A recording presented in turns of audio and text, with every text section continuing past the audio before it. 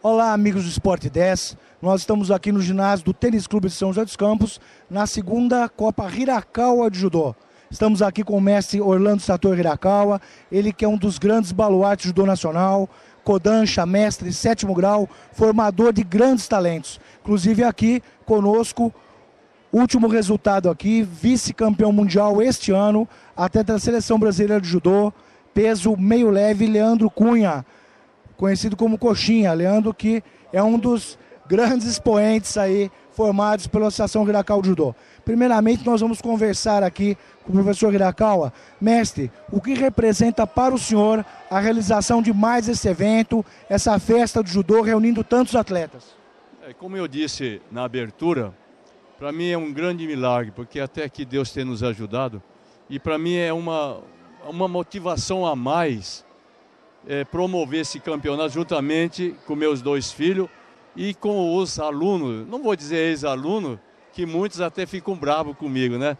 Mas são cria nossa como com todo carinho, foram aqueles que desde moleque, né, Coxinha, né, desde moleque, está gravado na minha vida, na minha alma, na minha, na, no dia a dia, aqueles momentos no quais eles chegaram, crianças, 7, 8 anos, crianças que queriam conhecer o judô. E com esses acontecimentos, para mim está sendo uma motivação tão grande, porque por mim o judô não existiria mais na minha vida.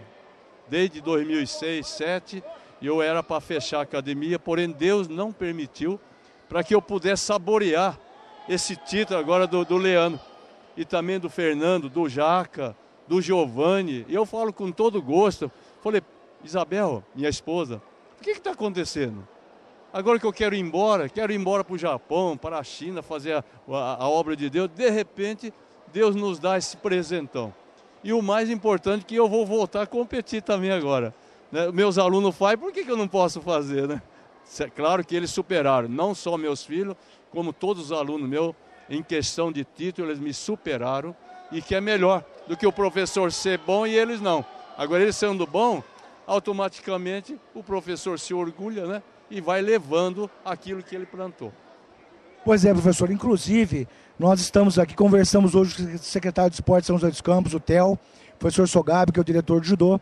Nós estamos aí numa proposta de fazer um trabalho realmente sério para trazer valores como o Leandro Cunha, o Alex Pombo, formado pela DPM, que hoje estão participando por outras cidades, repatriá-los novamente, como nós fizemos na nossa época. Nós, como técnico de São José, trouxemos Fulvo de volta, vários atletas, trazer o Leandro Cunha para cá, que é um grande baluarte. O Leandro, inclusive, não é atleta só para jogos regionais, jogos abertos. É um projeto olímpico para São José dos Campos. Nós temos a certeza que o Leandro tem todo o potencial para lutar uma Olimpíada e trazer uma, uma medalha olímpica para São José dos Campos.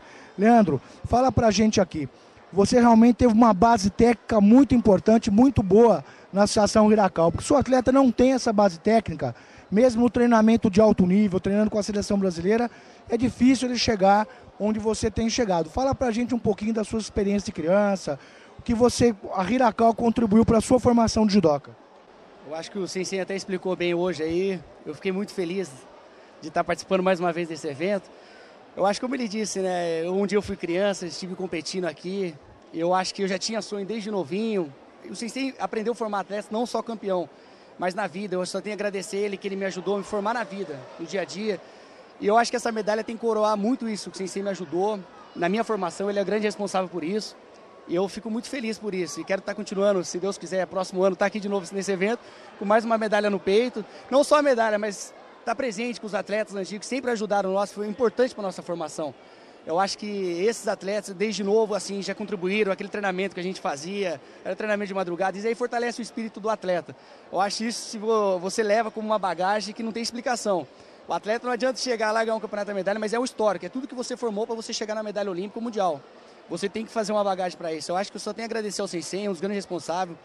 Para minha base, eu acho que o atleta não tiver uma base hoje, uma, bem, uma base bem formada, vai dificultar um pouco, ainda mais hoje com o novo sistema do judô olímpico, com a regra nova, que acabou a catada de perna. Eu acho que eu tenho a agradecer muito. Eu acho que eu, eu caí na, na academia certa mesmo e eu agradeço ao Sensei por isso, sim. É isso aí, pessoal. Nós queremos também mandar um abraço, inclusive, pro seu pai, tá? Que o pai dele acompanhava a família. O Aristides foi o primeiro a começar, né? O Aristides, o Giovanni Cunha, uma família realmente de judocas. O pai dele sempre ali, tá de coxinha, o pai dele faz salgados e entrega nos comércios, as lanchonetes e tal. O pai dele sempre presente, sempre participando. Né? Então isso é um exemplo para esses pais que façam a mesma coisa e fomentem, incentive na academia, sempre presente, sempre incentivando, investindo na formação dos filhos, mantendo numa academia de excelência como a Academia Hirakawa. Mestre Hirakawa, parabéns mais uma vez, tá? O Leandro recebeu hoje aqui uma placa, tá? Eu vou ler aqui os dizeres aqui, ó. Ao atleta Leandro Cunha por sua conquista no Mundial de Judô do Japão.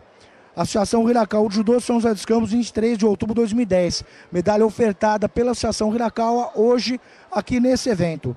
Então, parabéns a vocês, tá? Estenda, Sensei, esse abraço a Dona Isabel, que é uma companheira do Sensei Hirakawa. Não está aqui, mas sempre presente do lado dele. E levando juntamente com os filhos, a família, a Academia Hirakawa, que é uma família realmente, uma academia realmente familiar. Somos nós do Esporte 10, 10 vezes mais esporte para você.